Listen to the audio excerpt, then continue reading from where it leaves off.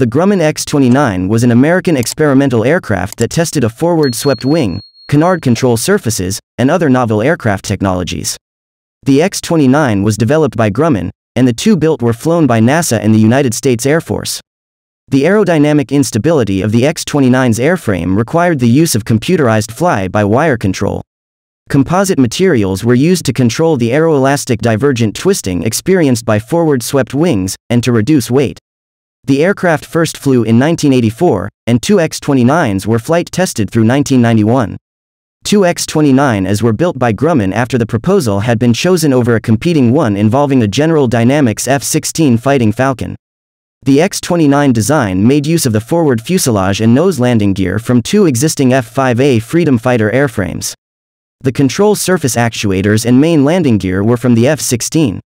The technological advancement that made the X-29 a plausible design was the use of carbon fiber composites.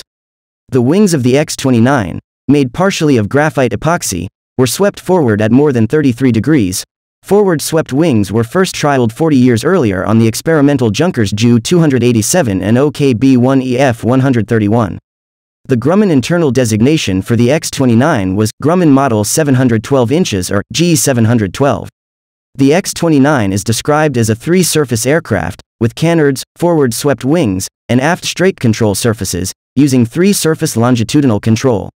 The canards and wings result in reduced trim drag and reduced wave drag, while using the strakes for trim in situations where the center of gravity is off provides less trim drag than relying on the canard to compensate. Stability was provided by the computerized flight control system making 40 corrections per second. The flight control system was made up of three redundant digital computers backed up by three redundant analog computers. Any of the three could fly it on its own, but the redundancy allowed them to check for errors. This perception has held up in the years following the end of flight tests. For the flight control system to keep the whole system stable, the ability to initiate a maneuver easily needed to be moderated. This was programmed into the flight control system to preserve the ability to stop the pitching rotation and keep the aircraft from departing out of control. It was concluded that the X-29 could have had increased agility if it had faster control surface actuators and or larger control surfaces.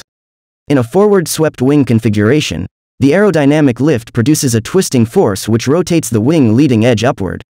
This results in a higher angle of attack, which increases lift, twisting the wing further.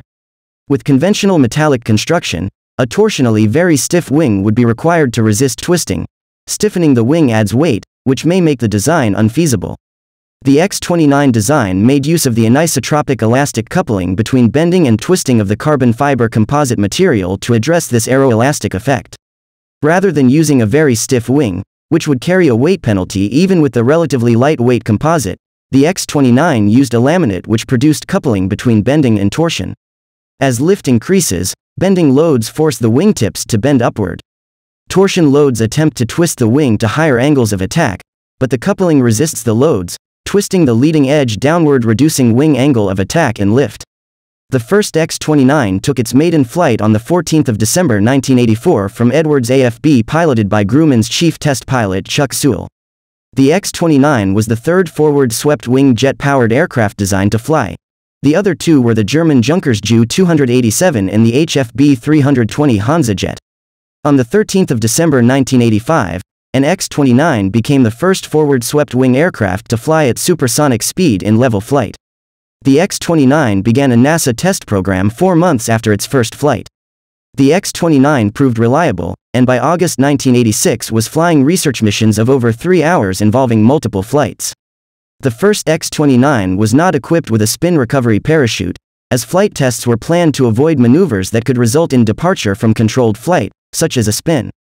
The second X-29 was given such a parachute and was involved in high angle of attack testing.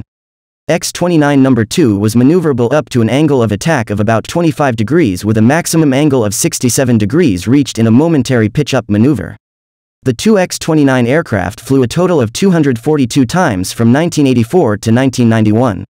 The NASA Dryden Flight Research Center reported that the X-29 demonstrated a number of new technologies and techniques, and new uses of existing technologies, including the use of aeroelastic tailoring to control structural divergence, aircraft control and handling during extreme instability, three-surface longitudinal control, a double-hinged trailing edge flaperon at supersonic speeds, effective high angle of attack control, vortex control, and demonstration of military utility.